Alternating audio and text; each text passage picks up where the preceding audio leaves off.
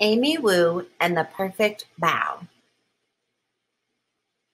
Bao like bow and not like bow. Amy can do a lot of things. She can brush her teeth, she can tie her shoe, she can even do both at once. Sort of. But there's one thing Amy cannot, cannot do. She cannot make the perfect bao. Sometimes they come out too small. Sometimes they come out too big. Sometimes she adds too much filling.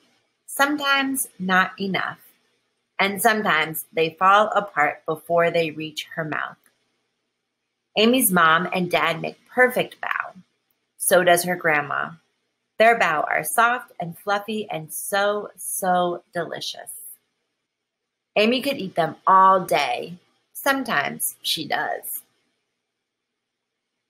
Today, Amy is going to do it. She's going to make the world's most perfect bao. Bao making is an all day event. Amy's dad starts in the morning mixing together the ingredients for the dough. Then it's time to knead, knead, knead.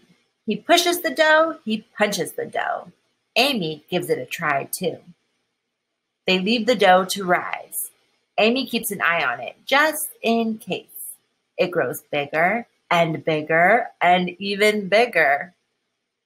Amy's dad squishes the dough down just in time.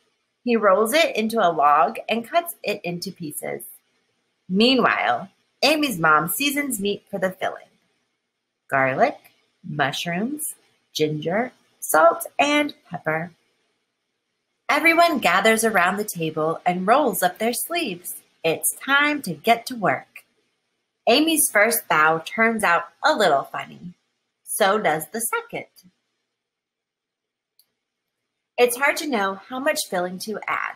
Too little and the bao is sad and empty. Too much and whoops. It's also hard to pinch the bao shut just right. Pinch, pinch, pinch. Amy watches her mom make a perfect bao. She watches her dad make a perfect bao, and her grandma too. They all try to teach her. Roll out the dough like this, says Amy's dad. Use just enough filling, says Amy's mom. Pinch, pinch, pinch, says Amy's grandma. But Amy's bao just aren't the same. They are too empty or too fat. They have holes in them they leak. Maybe today won't be the day after all.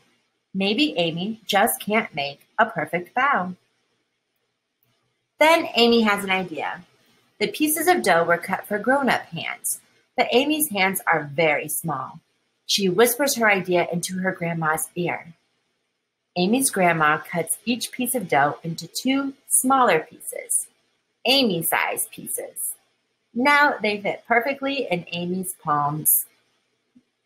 Carefully, Amy rolls the dough so it's thicker on the inside and thinner at the edges.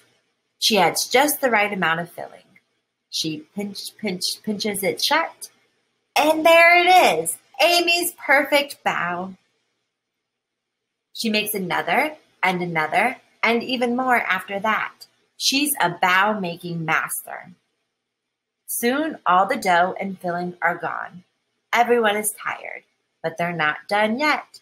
Amy's grandma boils a big pot of water. It's time to steam the bao. Amy keeps an eye on the steamer just in case. All her perfect bao, and all the imperfect ones too, are snug inside. The bao are done. Amy's mom lifts the lid off the steamer. Whoosh! Out comes a puff of steam. Amy can't see anything at all. The steam clears. There are Amy's perfect bao. They are not too small, they are not too big. They have just the right amount of filling and they do not leak. They are soft and fluffy and so, so delicious. Amy eats one, then another. Then she eats one of the not so perfect bao.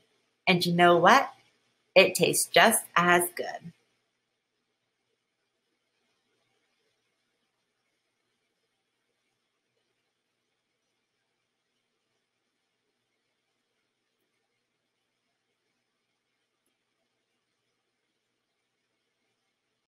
Bye.